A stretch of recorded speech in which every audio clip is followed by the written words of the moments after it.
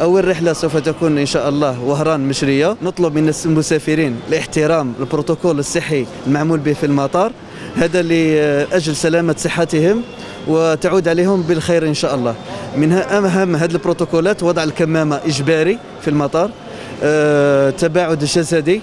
هناك حام... آه،, أه، هناك كاميرات حرارية عند الدخول وعند الوصول. أه، هناك ملصقات في الأرض. ملصقات في الشاشات. هناك شاشات عن بعد مضيفات تتكلم دائما عن التوعية. هناك ملصقات في المقاعد تقليص عدد المقاعد تقليص عدد الركاب في الحافلات. هذا كل هذا على سلامة المسافر.